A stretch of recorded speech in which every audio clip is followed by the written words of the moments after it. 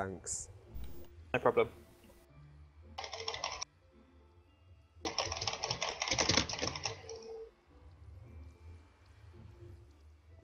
Nobody's helping me.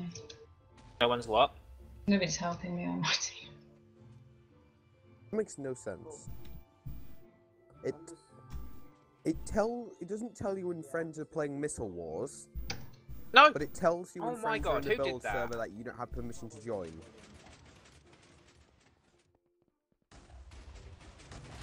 I was on that platform like five minutes, and one of our teammates paid, shot a missile at me, knocked me off. Wrecked. Fucking idiot. Oh, did any of you guys get the Santa Claus's hat from the glitch? Get the what?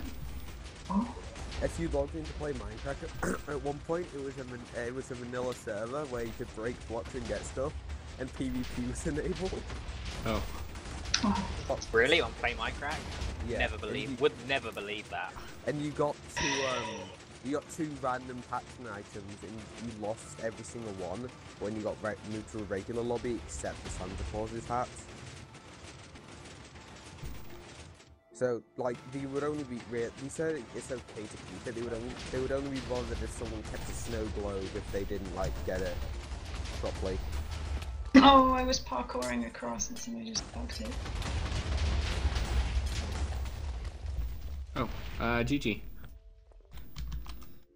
There was like a massive freaking hole in your wall and nobody could do anything about it. It was- That's because we had a team griefer.